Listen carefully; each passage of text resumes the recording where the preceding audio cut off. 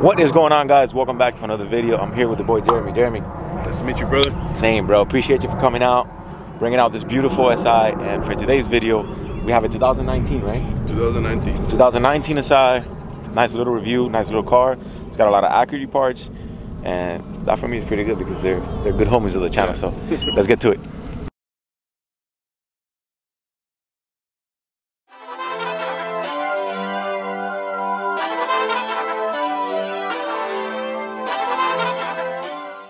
All right, Jeremy. So talk to me about the car, man. It's a 2019. How long you had it for? Going on about two years now. On about two Um, years. So why, like, you know, there is a lot of, you know, uh, there's a lot of cars out there. Like, you, you know, you got the RSX that I have. You have all these.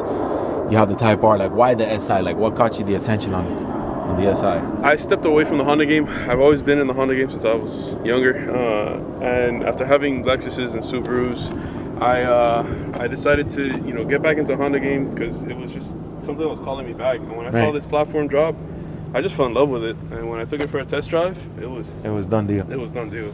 I walked away with the car the same day. What are, what are these making out of? Factory power Um, power wise. To the crank, they're advertising like a 205, 210. Gotcha. Uh, to the wheel, probably like 180, 190. That's not bad.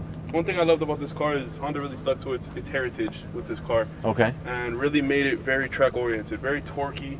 Uh, Right. they, they get up to speed real quick and they handle from factory with factory suspension. They handle phenomenal. You know, with the adaptive suspension they come in from factory, you know, sport mode, all that really embraces its its heritage.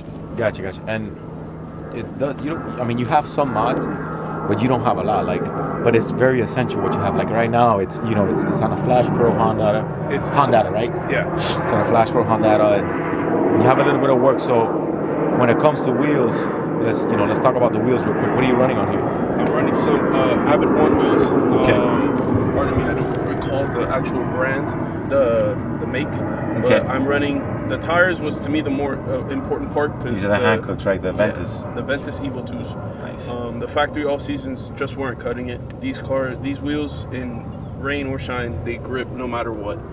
And ever since I put these wheels on, it's handled phenomenally, I fell in love with it. The fitment, everything. These are what 18s, right? These are 18s. 18 by eight and a half. 18 by and a half. Okay, that's not that's not that bad.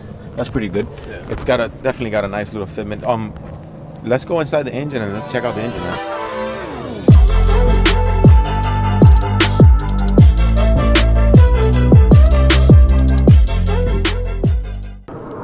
All right, engine wise, we have. You don't have a lot of. We have. You have a. You, you were telling me off camera that you have a PRL. Yeah. So if you look right down here, you can see the PRL catless downpipe. Mm-hmm. Um, inside the transmission, I have a Clutchmaster Stage Four. Oh uh, Jesus, that's a that's a that's a big clutch Yeah, for such a stocky engine. Not stocky, but like you know. I did it more for the power gains in the future because Gotcha. I'm nowhere near done with this car. Uh, Gotcha, gotcha. I want to do the PRL big turbo upgrade and further. So I needed a clutch that's going to hold that power later on down the line. And you had already the transmission. I mean, you needed to replace the clutch. That's why you you did that, right? Yeah, these cars from factory, the clutches slip immediately. As soon as, as, soon as you start doing uh, Hondata Flash Pros, the stock clutch will start to slip. And it's kind of a hindrance. You know, you can't really do full bolt-ons. You can't do 85. You can't do any of that stuff with the stock clutch. So my biggest roadblock was the clutch. So I said, pull the trigger, I'll do the clutch, and then after that, I can do my intake, intercooler, and the rest of my bolt-ons. And further down the line, the turbo. Nice, man. Yeah, because you know you see a stocky engine like that, and you hear stage four clutch, and you're like, okay, that's kind of an overkill. Yeah. But it makes sense. You know, you got you're getting things out the way, in that and that makes perfect sense. That makes perfect sense. So pretty much it's just a stock engine, regular 1.5, right? Regular 1.5 liter turbo. Yes. Earth Earth Dreams Turbo. All right, let's go into the interior, man.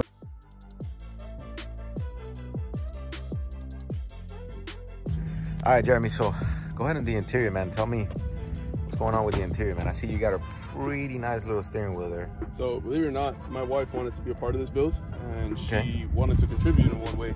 So I had seen a red Alcantara, uh, black Alcantara with carbon fiber steering wheel from FKX, but it was like eight hundred dollars. And I told her I was like, this one dropped. Buddy Club dropped that steering wheel, Right. and I fell in love with it, and it was like half the price. Told her I was like, I love that steering wheel. She got it for my birthday two years ago. Nice, dude. So, So- this is a this is authentic, obviously Buddy Club. What's the what's the name of it? It's a Buddy Club what like? Uh, Buddy Club Carbon Time Attack Edition.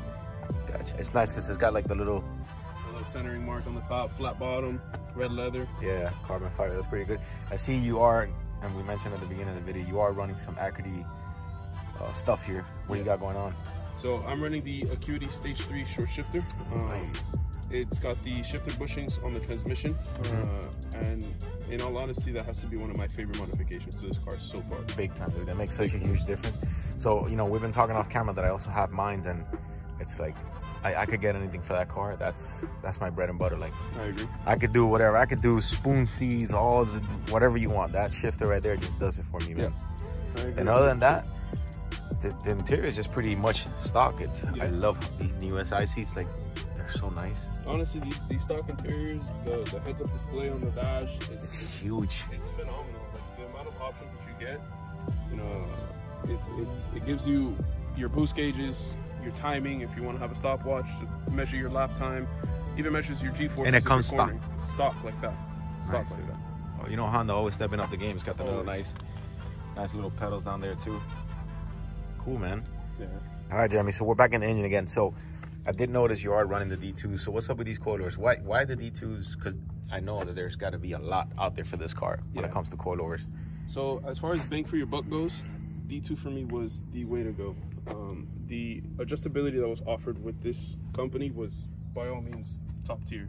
Comes with uh, camber plates on the top hats, Okay. uh, adjustable dampening. Uh, ride height adjustment is independent from spring rate, so you can adjust your ride height and keep your spring rate the same. Keep- Yeah, exactly, exactly.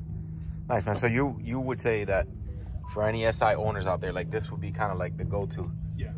After running them for about a year and a half, I have zero complaints about D2. Nice. A lot of SI owners will complain that when you do the uh, suspension on these cars, you will get a check engine light for uh, Really? your active dampening control uh, system. Nice. Oh, shit. D2 is very nice, and they also supply a uh, bypass module. So Oh, gotcha. it's just plug right in, zip tie somewhere in the wheel well. And you got this one. You got it. You got it on this car. Yeah, yeah. So I installed those, and I got rid of all my little check engine lights that you would get from the ADC control, and That's nuts, been good dude. to go. That's nuts that you will get uh, check engine on a suspension. Yeah, because these cars from factory, when you hit sport mode, it dampens the suspension and makes it tighter. Right. So you have an active dampening control system in the car. Right. When you delete that system and put a coil over, you no longer You're have kind of that. disabling the system. You're disabling the system by unplugging it. right. So the system starts to trip out. But when you get the bypass modules, everything goes back to normal. Everything goes back to normal. Yeah. As far as a lip, I see you have a different lip here on it. That's not the stock lip that comes with that car. No, no, no. Um, this was this lip was a little bit of a trial and error. Uh, I bought it off of somebody on on Instagram, and just because I liked the way it looked, and it didn't lower the car too much to the point where you can't drive it. Right. Um, but as far as painting it goes, it's just been giving me a headache. Uh, I have another lip on the way uh, that I should be. It's a, it's an ABS dynamic uh, Okay. lip, very similar to a Type R lip. So it gives the front end a lot more aggressiveness. Yeah. And uh, I can't wait to put that one on instead. And and the big difference is that, you know, what you were just saying now that it's not too low. I love how the car is low and it's sitting nice and it's got that track look or whatever, but it's not, you know, it's not so slammed. Like I mean, you got what, maybe six, seven inches still off the ground, and it's still looking perfect. You know, it's it's kind of not crazy to see, but like coming from the EM1 where your wheels were 15 inch, Yeah. 16 inch at the most, you know, you're running now 18s, and I've even seen people running 19s and even 20s on these things. It's, Yeah. it's nuts And they still look low. and they still look low. I mean, right there you get already into the whole stands world, and Yeah. I guess to each his own. So it's pretty cool, man. It's nice to see an SI like that. Like it's very clean. I love the blue color Thank you. compared to my uh, DC5. We brought out all the cars out here today. We got Dayron back there. We got Steve-O there. I'll leave all the links and Instagrams there so you guys can check them out. So when we go to the back of the car, not much, right? Just uh, well, I my, see uh, one of my favorite parts, the exhaust. the exhaust, right? Yeah.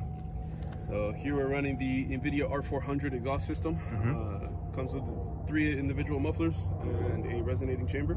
Uh, running 4.5 inch tips. All three of them are 4.5 inches. 4.5, right? Yeah. Um, What's the size on the on the piping? the piping, if I'm not mistaken, was a 2.75 inch pipe. Okay. Yeah. Okay, so you're almost at that three range, Yeah. and it's very quiet. When we were off camera, Yeah. it was very quiet. it's- on, on, on this car, you know, I heard a lot of people doing cat deletes and muffler deletes and all that, and I just I wasn't a fan of the rasp and pops and bangs. Right. I wanted something more subtle, more deep toned, more aggressive. Uh, and something that I can drive every day and still talk to my wife in the car. Oh, of course. That's that's a big thing. I think the older we get, we don't. You, know. you kind of grow out of it. Yeah, dude. We don't. we, we, we don't want a rat count out there. yeah. We'll get you guys a clip now of the exhaust.